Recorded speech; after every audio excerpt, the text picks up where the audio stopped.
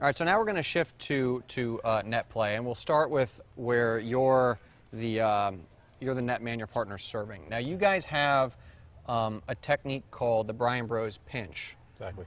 that I don't think a lot of recreational players are familiar with, and it's an amazing technique because it completely frees up the net man to do whatever he wants, regardless of what the what the partner is doing. It's a it's just a freelance play. Um, you're not completely selling out and going all the way to your to your partner's side. You're pinching it. You know, you're you're making the court look small. Uh, you're enticing them to hit it down your line. Uh-huh. Then you take it away. So It's not a poach; it's no, a pinch. It's a pinch. You know, you can come come here. You know, make the court look small. Um, sometimes you're trying to bait him to go down your line, and then you go boom, and you're you're there with the easy forehand volley. Okay. So um, it's it's just moving. I mean, if the ball goes down the middle, you, you're because you've pinched over, then the, it, it's pretty easy to take it away. Yeah, this is a play we use almost every time. We don't do a lot of full switches.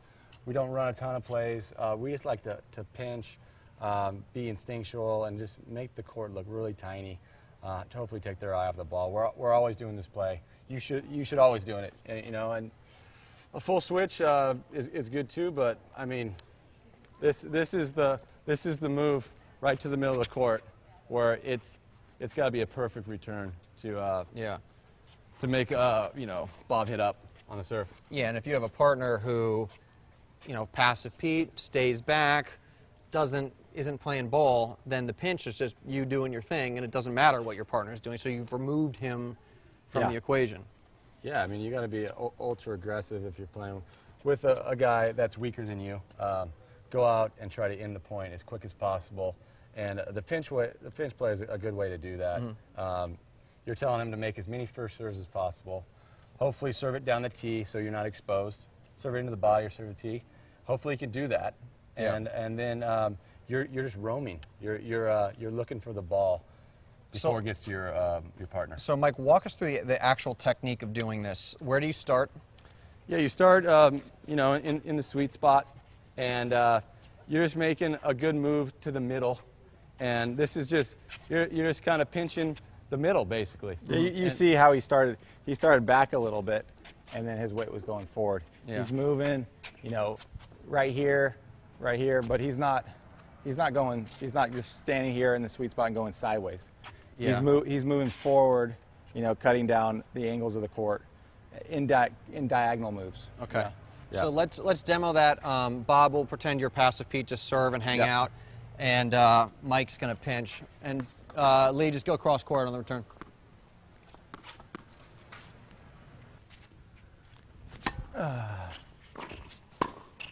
There you go again. Yep. So It's, it's not a full it's not a full poach. I just made a good pinch to the middle, and uh, and ended the point. You know, you don't have to sell out. Um, you know, you don't have to do a ton of communication with your partner. You just take it upon yourself to make a good pinch, and uh, and hopefully in the point there. And if I was standing here, like most recreational players, that ball is back at Bob. It would have gone. It would have gone cross court. He's making the returner uncomfortable. Um, he's making the court tiny. That's what we say to each other a lot of times. Instead of calling a play, I just say, "Let's just make it feel uncomfortable. Let's make him not feel good. Make make the court tiny." Okay. So if And you you're the net man, your job is to make the court tiny. Yep. Got Yeah. it. Um, and your serves were kind of going T here. How does your move? I mean, let's let's say your partner can't really control where the serve goes. Maybe it goes T, maybe it goes Mm-hmm. wide. What are you then? How are you moving? How does that affect your move? Yeah, I mean, obviously, uh, a bad server is going to miss his spot. I'm hoping he can go T because that just brings me into the play a little bit more. Um, but I'm keeping my eyes way out in front. I'm, um, I'm reacting. If I see him set up with the forehand, I'll pinch this. I'll, I'll still close, which makes it makes the, the lanes tiny. Yeah. Uh, but I'll still I'll pinch this way instead. If he if he misses a spot and goes out to the forehand. Okay. See which way his weight shifts. I mean, if he, you can see which way he's leaning. If he's stretching out for that forehand, Mike's definitely going to cover the. But, yeah. but, but if you close tight enough and he decides to go cross court, I've still made it look really small for him, the lanes, and I'm, I'm here too. So So what's the what's the timing of it? I mean, we've talked a little bit. Is it it's again right as he's coming up with the yeah, I mean, the once his shot's coming forward, he's committed. Yeah. You know, he's he's done. He's already made up his mind where he's going to go. It's very hard to change direction once your, your racket's already moving forward. So what are the, the two cues you would look for when you're doing this? Is is I'm where where's the him. serve? Yeah, yeah. I'm looking for. Uh, I'm I'm supposed to know where Bob's going to serve it. Let's But- say you don't though. Let's say you okay, don't, and you're so when- freelancing. When Bob's tossing the ball up, um, my weight's already going forward. I can tell by the returner if he's getting ready and he's split stepping. My weight should already be going forward. I got Okay. momentum going into the net, and then right before he uh, hits the ball, right before he contacts the ball, then I'm pitching a, in a direction. Okay. You know, but if, if you move forward, you got to have your momentum going forward as he's tossing and he's you know getting in the right position, um, split static, split stepping. A- And would you recommend, let's say, uh, you're not really sure whether serve's going ahead of time, you would decide, well, if this goes out wide, if the serve goes wide, I'm going to cover the alley, and if it's middle, I'll go that way. You just already have, you already know which way you're going to go. I'm coming forward. Oh, it's T. I'm here, or oh, it's wide. I'm going to I'm going to come over here now. You just That- that pre-plan is- your move. Tho- Those are That- the basics. That Yeah. happens a lot. That happens a lot. That's uh, that's 101 for, for a pinch. Yeah. Um, those are the basics. Like he said, if it goes wide, he's pinching that way. If it goes T, he's pinching this way. Got it. But, but when you're playing with a, you know, a weak guy and, and you know they're probably going to want to go at him, then you, you're probably pinching more toward the middle because they're going after your weak partner. So most of my moves will be there, and I'll, I'll kind of bait the alley. It's a tough shot to hit over the high part of the net down my alley. Yeah. Um, so I'm, I'm more trying to end the point because I don't want this guy to hit it. Yeah, and you'll pick up on the tendencies. If they're directing all their fire at Bob, then you're going to start just moving all the time Yeah. and force them to hit that winner. Yeah, I mean, make them burn you. You know, uh, make them hit two or three balls down your line before you have to, you know, start covering that side. And let's talk a little bit about, um, let's say it gets into a, a, a back and forth exchange here. Now, what are you, what do you do? You make that first pinch. Let's say the guy hits a good return and it's now in an exchange. Yeah. Where do you move? You got to reset first, right? Yeah, if it gets back to, to my partner, I'm um, I'm trying to be in the middle of the court. I'm, back up. I got to be moving and shaking, backing up. But uh, yeah, it, it's my job to make him hit as, as few balls as possible, and uh, trying to end the point as quick as possible. So I'll, I'll, I'll sometimes I'll stay in the middle of the court and just say, you know what, um, you're gonna have to pick a direction, and and I'll I'll pick a direction, and hopefully I guess right. Yeah. But uh, it, there's a lot of uh, risk involved. Just basically, I'm, I'm going to be shifting over to, to cover this guy. If, if he's staying back there, I mean, if you wanted to play it safe, you could stand here and kind of get in the guy's head and then always pick. Yeah, yeah. always pick the alley, and then your guy's going to cover it, and then maybe he sees it after two shots. The next time you just stand there, you don't move, yeah. and then you um, spike it away. There's a lot of a lot of scenarios. Um, you know, when we play opponents, we know what their tendencies are. But uh, when you're playing with a weak guy, yeah, you, you stand there. If you're if you're in the middle of the court, they're going to have to hit a, a shot over the high part of the net, or just really lace it in the alley. Yeah. So um, yeah, I'll I'll just be putting up as much smoke screen as possible. Okay. And uh, hoping they're taking it off the ball. Let's um. So let's let's do a couple things. We've covered a lot of ground. Let's first demonstrate the pinch where uh, Lee take the return down the line, um, very carefully to avoid the camera gear, and you're you're going to anticipate that and pinch and pinch line, and we'll just see how you put the ball away.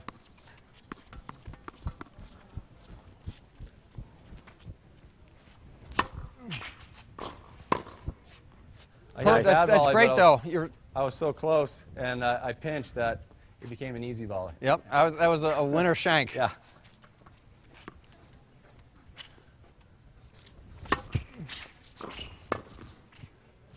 Not everyone can hit the severe angle Yeah. like Mike Bryan. Um, that seems really easy for him, but for me, I would probably go uh, middle or right through the So you're just going to feet. stick it there or right through Mark's Okay. feet. That's more of a percentage play for Okay. for most players, and that's probably what I would have done. I was a little flashy. I'm gonna go with the bread and butter. Let's go, here. yeah. for let's the bread and go. butter.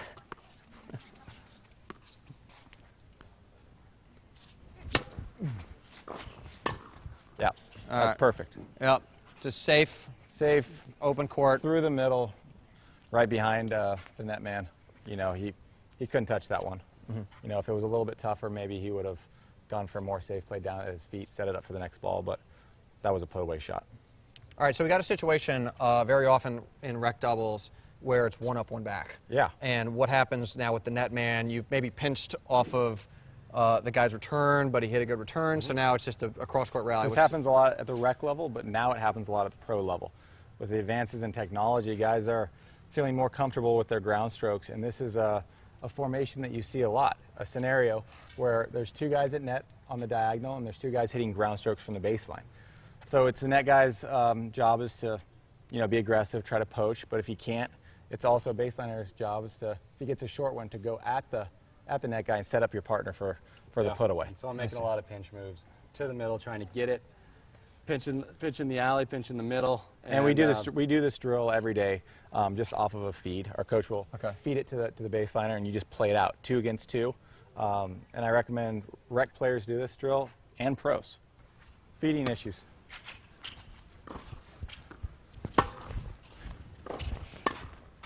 See, I pulled him so wide. Um, that was, you saw Mike how he moved way to the left. Yeah. Um, he, he saw his movements shift over. The ball went over there, and I came more towards the center, and Mike went towards the alley and got the and I easy took ball. that ball right down the middle, Yeah. right behind the net guy, Yeah. and the point's over. split the uprights, Yeah. but you're just you're just moving with the ball um, yeah, and, read- and reading it. Reading the play. Yeah. Yeah. If you go out wide, you, you got to follow the ball, track yourself, and then pinch, pinch to the alley. Okay, let's see it again.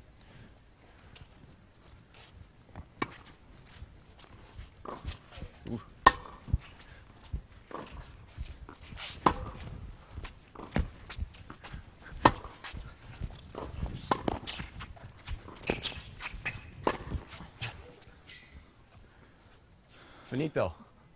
And it was interesting. So, and just for the lefties, like you shifted over too Yeah. to, to favor your shot. We were talking about it earlier Yeah. with your with your backhand, but that's one of the reasons you guys play four hands down the middle. Yeah, I mean, Bob got a, a wide back end there. We shifted over as a pair. If you, see, if you saw Bob hit that, he was almost outside the alley, so I knew that I had to fill up some space here. Yeah. So I got, I got a pinch middle there. All right, here we go. It again.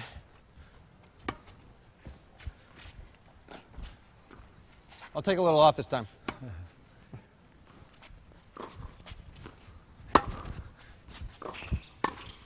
And I missed it. But I don't know how he missed it, but he did. I think that's a good lesson, though. I mean, like that one. Uh, a lot of I gotta times. go middle. Well, you, well, I, I think just at the rec level, a lot of times if you're just there, you, you know, Lee is an extremely good player, so he's able to keep the ball more cross court than your average recreational player. So if you're just filling up that space, you're going to have opportunities to put those balls away. Yeah, that, that's, the, that's the key. I mean, that's why we practice this drill. It's not for the baseliner. We, we have good ground stroke. It's for the net movement to imagine where the ball is going to be, to stay active, get their you know, eye off the ball, and uh, in the point. Yeah, and I think everybody watching, if you're not comfortable moving like Mike, this is a perfect drill where it's sort of that safe environment to go practice following the ball and kind of seeing what your results are. Oh, maybe I moved too early. I gotta, I gotta hold back a little bit and time it a little bit better. But this is a drill like this is how you develop that aggressive net play. Yeah, we work on this drill every day. I mean, it's a, it's a play we see, you know, 50 times during a match now, now in the pro game. So that's what, you know, you got you got to work on to get your movement um, oiled up. Let's talk about a variation uh, of it where you get, you end up having the two baseline guys being on the same side. Hitting down the line. Hitting Yeah. down the line, yeah. So we'll put like Mike over here. Now, Bob, you're you're the aggressive net guy. Yeah, So what happens then? You see this a lot in I formation when, you know, guys down in the middle of the court and um, the server serves and often the server shifts over to his best shot. So on an ad court situation, the server will shift over to cover his forehand. Yeah. So you'll get Mike hitting down the line to a guy's forehand. And Okay. uh, in this situation, the net guy can even be more aggressive and even pinch more because uh, that guy's got to hit the hardest shot in the world to get it by me. Okay. Which is a, we call it the dipsy doodle. You can call it whatever you want, um, but it's a it's a top spin, short angle in the alley, which is pretty much impossible when you're when you're hitting the ball aggressively like Mike does. All right, let's let's uh, let's see how that works. Okay, uh, go I formation. Go I formation. You hit the serve to me. Do you want? Do you want? Yeah, why don't we see it where how it works? We can see it with we can Or- see. It. Or we can just feed it. You want? Uh, I'll just feed it in. Okay, I'll, just- I'll just feed feed it it. in. We'll just Or- set up. We'll just construct Yeah, this, set it up. scenario. You're going offline. Yeah.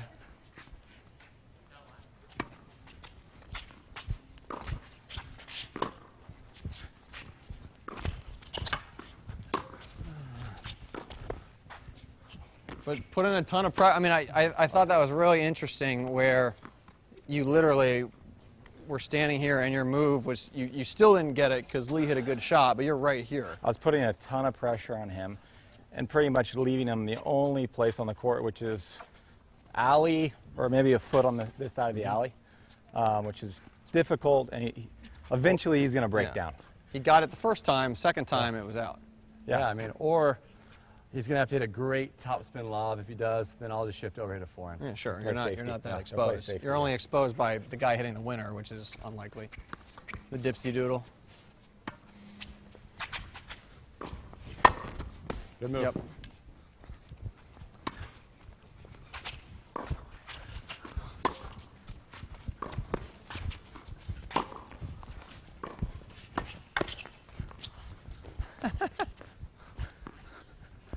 I mean, I took my option there was to to go kind of deep and slow or go for the drop shot. Yeah, I was uh, ball was below the net, so I picked the drop, sure. and it worked out. He hit a good shot. I mean, Yeah. And as a groundy guy, sometimes I'll even want to go middle.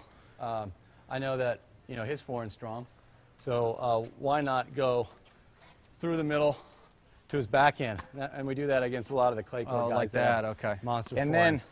And then, Then you're making the ground stroke even tougher because he actually has to pull it across my volley across the middle to hit of the it. court. yeah, Bob's gonna he's going to tattoo Yeah. his partner otherwise in the uh, Yeah. in the back So there. we'll do a couple of those. So you almost Well, shut him off even more. I'll yeah. hit, instead of hitting inside out forehands in the in the alley, I'll hit him uh, down the middle.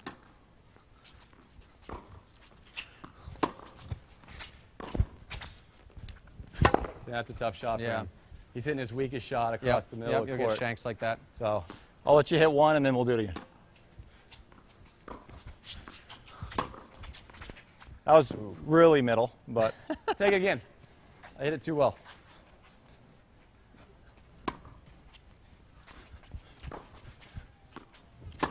Oh yeah, legs are a little stiff.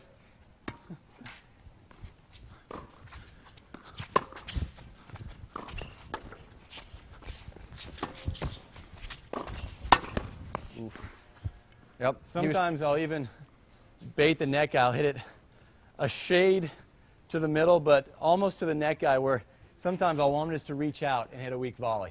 yeah. And if he doesn't get it, then he's moving all the way to the middle, the ground stroke guy. And the, we're in a great position there. I mean, Yeah. a lot of guys got, that really can't volley. You're, you're baiting them to stick out. yeah, yeah, yeah, I just got to. So yeah. you're not hitting right at him. You're hitting it just the right length. So a middle, a middle shot there would be perfect. It's like the, the yarn with a cat trying to get it to Yeah. bat at it. Yeah. Yeah. Especially if they're they don't know the pinch play. Yeah. And they're not pinching the middle. Yeah, which most rec players Yeah. won't be. Uh, Lee, let's have it where uh, he go. Don't shift over to cover to hit a forehand. Let him go at your backhand. So and you try to pull it back cross court like we were originally trying to demo.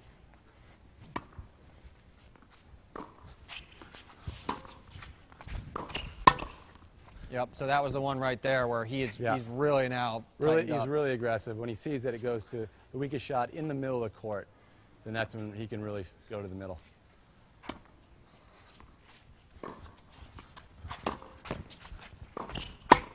So that's that's the read. That's interesting in terms of your commentary. When it's on the forehand side, maybe Bob's a little bit more Yeah, I mean- conservative with his move, but when you get it over to the backhand, then he really takes up a lot of space. Yeah, that's that's when you uh, move to the middle of the court, and um, you know, he, if he wants to go up the line, he's going to hit his partner in the back. Yeah, Yeah. So exactly. he, has got to go. He's pretty much, if Mike hits the right shot down the middle, he's almost, his partner is almost blocked off any angle cross court. So his only shot is to, to redirect the ball across me. I'm in the court, in the middle of the court. He has to pull it past He's my. going to have to hit. He's going to have to hit it out here. Yeah. Not very much. Not a lot of real estate over here. So you're using the partner, his partner, almost as a chess piece against him. Yeah. Exactly. Yeah. So that's a, that's a great play. Sneaky stuff.